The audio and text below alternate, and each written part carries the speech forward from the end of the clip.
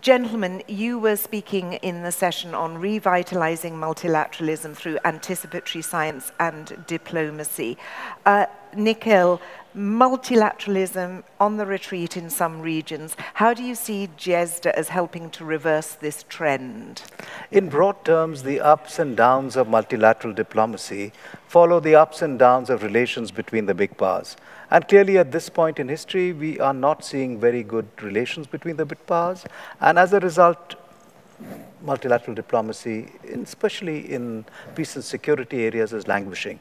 But there are a lot of areas where if we heard the voice of science much more strongly as to where our world is heading, the changes that are coming upon us, especially because of the leaps in technology, that would re-energize looking at issues, especially the human dimensions of the work we do in multilateral diplomacy differently and with greater energy. Joël, trust in science is on the decline. How can GESDA help reverse that trend? Well, that's a big question. And, uh, you know, there is a big frustration within the science community. We provide solutions. Let's say the vaccine for COVID is the last one, and 40% of the population in Switzerland doesn't take it. On the other side, we have alerted the, uh, the society that there is an issue with climate and this goes 20 years back, and still we are not moving. So on one side, there is this frustration. On the other side, clearly we have to learn to communicate better at all levels, at the levels of people, at the levels of communities, and at the levels of the nation. And this is where GESDA can play a role. And there are several initiatives that we have taken in that direction. So how can, for example, uh, scientists like yourself uh, better communicate with diplomats, and how can diplomats better communicate with scientists, would you say, Joël? So, you know, actually within the universities, we have learned to work in a very interdisciplinary manner. This is why we can produce products that are very effective. So we need to go one step beyond. We need to involve the diplomats, we need to involve the social scientists, the economists in our reflection. So what we need to do is to educate people that can both speak the language of scientists and of the diplomats in this, in this uh, case. Um, Nikhil, UNITAR is a training and research org organization. I mean, how can we train future leaders to be bilingual in both science and diplomacy? We have to first realize that uh, Scientists don't deal directly with policy processes. They're often intermediaries, and these intermediaries are government representatives, diplomats, who take a much more active and direct part in policy processes. They are Sherpas who prepare leaders for their declarations and so many other things. So it's very important to get to this community and teach them what science is telling the world and make that a part of their preparations for their leadership to go and make policy.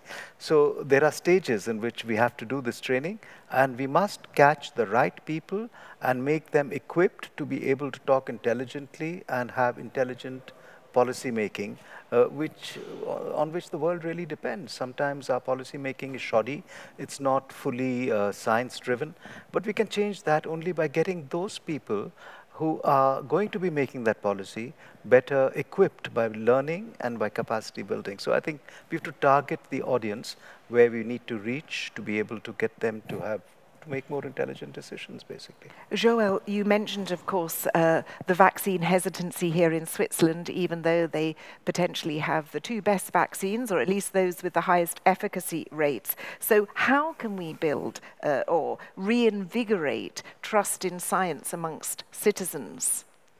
So first through a dialogue, a much more intense dialogue, and explain that what we have been doing in this past year is just not coming out of the nowhere, that there was a long time investment in research, 20, 30 years back, that allowed to be ready when such a situation comes.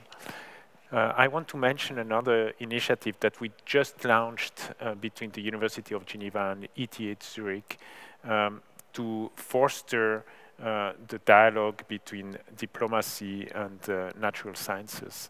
And so we will have a platform that is supported by GESDA, by the way, um, where people will meet and will exchange and will get a, this double ed education I was talking about before.